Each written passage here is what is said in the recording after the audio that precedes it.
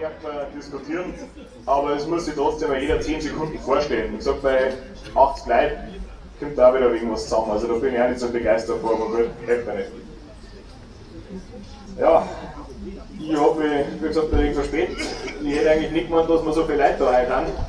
Ich habe jetzt gar nicht mehr gerechnet, also Wahnsinn. Du musst sagen, vom, vom Freitag untereinander.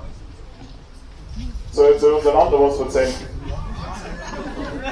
War eine schöne Sendung, also mir hat es gefreut, dass das äh, hat, dass wir mich eingeladen worden haben. Ich habe eine Einladung am Mittwochvormittag gekriegt, weil er ist anscheinend nicht gegangen, bis dass sie die Damen wieder beruhigt haben, weil wir mir so viele E-Mails geschrieben haben.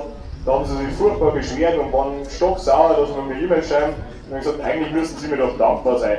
Ich sag, weil ich habe eine E-Mail ausgegeben, einen Text dann vorbereitet da hat vielleicht jeder noch zwei, drei Sätze dazu geschrieben. Das war alles nett und dann haben sie einen Großteil mit SDG und C und SDG und V am Computer beantworten können, haben vielleicht noch schnell den Namen anpasst. Und dann hieß es, ja, aber wenn wir mir als Vorstandschaft vielleicht gerade geschrieben hätten, das hätte auch gelangt und dann ist zufällig gerade der Schüberl da gestanden äh, am Freitag und dann habe ich gesagt, Herr Schüberl, wie ist denn das, wenn ich jetzt da eine E-Mail schreibe und vier, fünf später von mir noch eine E-Mail schreiben, wie werden das ausgehen? Und er sagt, mei, dann äh, kriegen sie wahrscheinlich nicht einmal Antwort. Dann habe ich gesagt, naja, in Zukunft werden wir das vielleicht beibehalten. Ich werde sagen, das soll dann vielleicht keine extra Sätze mehr schreiben, dafür schreibe ich mehr Text und vielleicht auch ein bisschen schärfer dann.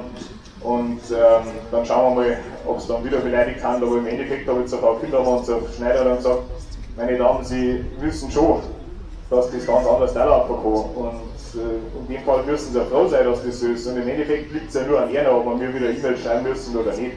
Also Sie beschaffen sich ja die Arbeit quasi selbst.